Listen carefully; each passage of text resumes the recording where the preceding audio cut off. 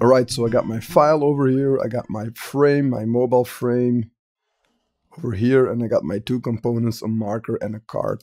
First, we want to set up the map. So I installed the Mapsicle plugin and I got an access token from Mapbox so we can add these cool live maps. What I want to do right now is draw a big rectangle over the map. Let's give it a width of 2000 and a height of 2000. Right. We're going to center it we're going to put it above the map frame. We're going to align it. All right. And then we're going to go to plugins over here. Mapsicle, open Mapsicle. Right. Let's go for Manhattan, New York.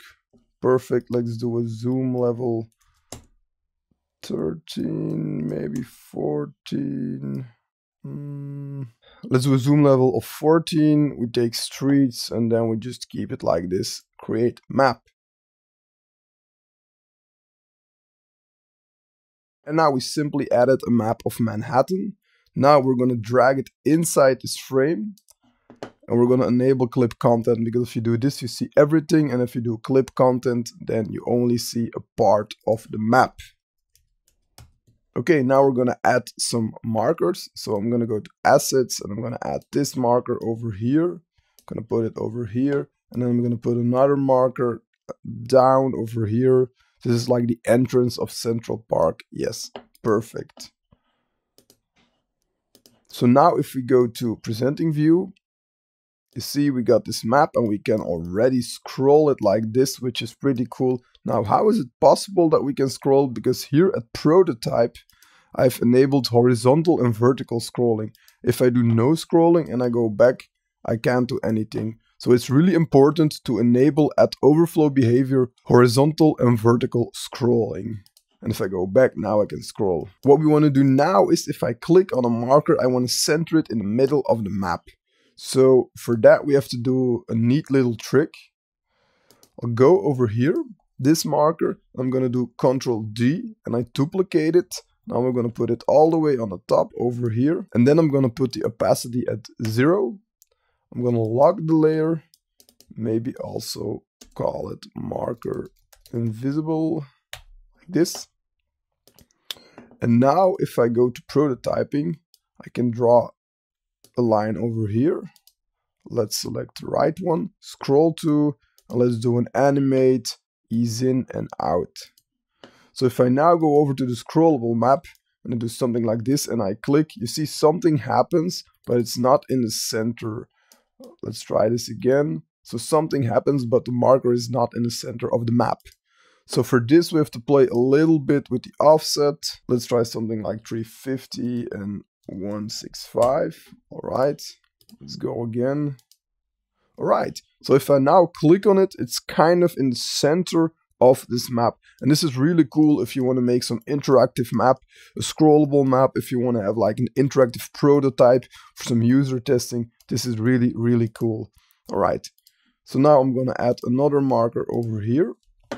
I'm going to do Command D again. I'm going to pull it on top of it. All right, let's close it. Let's call it marker invisible. The opacity at zero. I select this one, prototype over here. All right. And then we just add the same settings for the offset, minus 350, minus 165. And now if we scroll around and I click, this will also be in the middle. If I go over here, this will also be in the middle. Perfect. So yeah, this is actually a pretty easy way to make a cool and scrollable map. You can add a lot of maps. You can make the map as big as you want, as long as Figma has some good performance for it. So yeah, this is really, really cool stuff. Let's add another frame map with cards perfect. Let's delete this. Also, let's delete this. So what we can do instead of working with this invisible marker, let's delete them. We can also add a cool card on top of it. Right, like this. Three, five.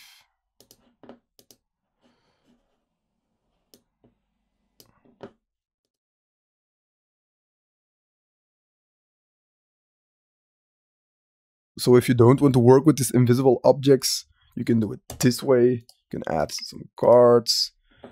And over here, let me add another card.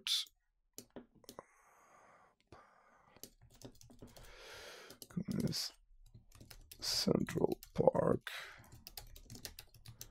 entrance. So this card is auto layout, so it has a nice styling and placing. Here we can do again the prototype. We go over here to the card, animate, all right, ease in and out, and then we do minus 350, minus 165, right. Uh, maps with cards. Now we have to drag the play button over here. Okay, let's have a look.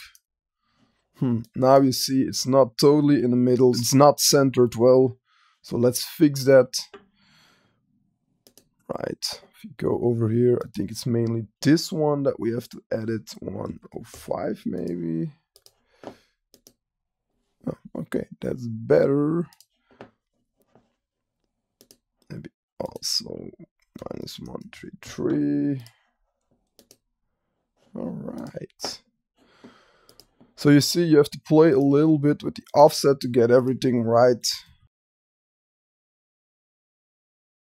But it's pretty easy to make a cool, interactive and scrollable map. I added the link of this file to the description of this video so you can check it out yourself. Thanks for watching this video and if you liked it, please subscribe to get more videos on Figma.